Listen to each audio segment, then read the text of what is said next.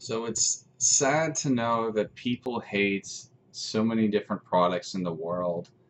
That people hate this, people hate that. And um, I was just thinking today why people um, hate Intel because I have an Intel Pentium processor.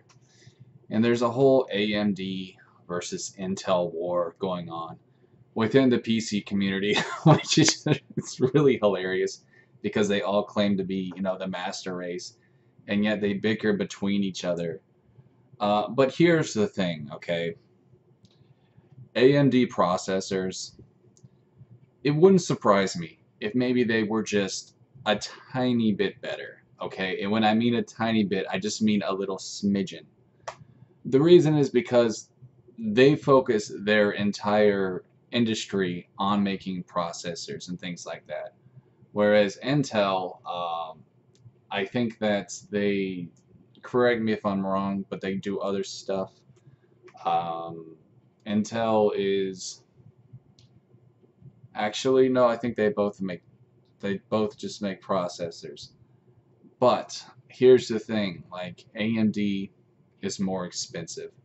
So, basically it's this, guys. It's an elitist war. Um, some of you guys are going to make fun of me for shit, you know, for this video and how I'm stuttering a little bit and stupid shit like that, but I don't really care. This is an elitist war. You know, oh, oh, you're you're a peasant because you use Intel. You know, Intel, which is in you know the PC towers of of Office desktops you can get for under three hundred dollars. It's all just an elitist war, guys. You have to understand that. These these dumb masturbation race, mustard race people they think they're better than us just because oh they have the top of the you know line equipment because oh my my shit you know oh you can press a button and I can wipe my asshole you know I, I can I can press a button and it'll diddle my nipples for me you know. I mean it's just it's so stupid. It's just it's elitism is the reason why I can understand why people don't care about video games anymore. I think that less and less people honestly are getting interested in video games because of these elitists I don't think gaming is quite as popular as it used to be, sad to say. Um, I mean, sure, lots of people still game, but if you think about it, like, it's just, it's riddled with fanboys, and I just wanted to talk about this whole AMD debate because I've had a lot of elitists come at me with that bullshit, saying that, you know, you have to have an AMD processor, AMD this, AMD that, you know, and uh, the truth of the matter is, Intel makes fine processors. Um, I remember a guy, and bless his heart, he, he really did his best to help me at Best Buy, but this employee who sold me my, my uh, PC tower, I'm not going to say his name, but he was, you could tell he was a real like AMD fanboy, and he was telling me, oh, you know, don't, don't buy the Intels, they're worse, they're terrible. But it's not true, they're fine. Uh, the processor I have works fine. I mean, yes, it's you know it's a fucking i3 processor, which is not exactly the most powerful, but uh, I'll eventually change it out. But for for what it is, it works fine. And by the way, AMD fanboys, I just want to warn you, the i9 processor will be in stores very soon. That's right, we got i9 now. So be afraid, AMD fanboys. Be very afraid. I don't know the complete specs on the i9 processor, but it looks pretty fucking powerful.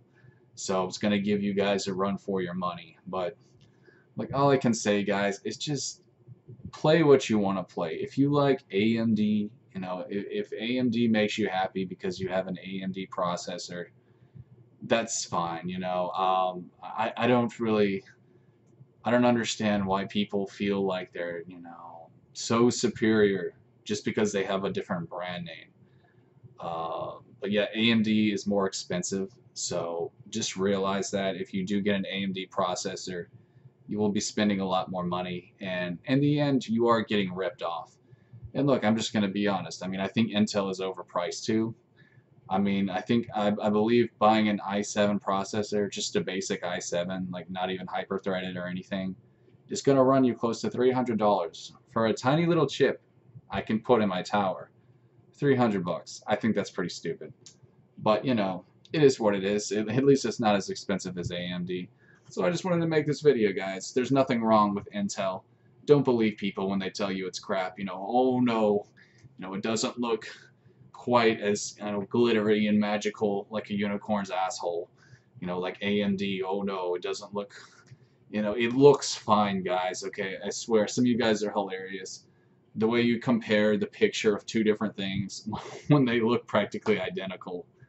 I mean, really, it's, it's just stupid. Anyways, guys, thanks for watching. Peace.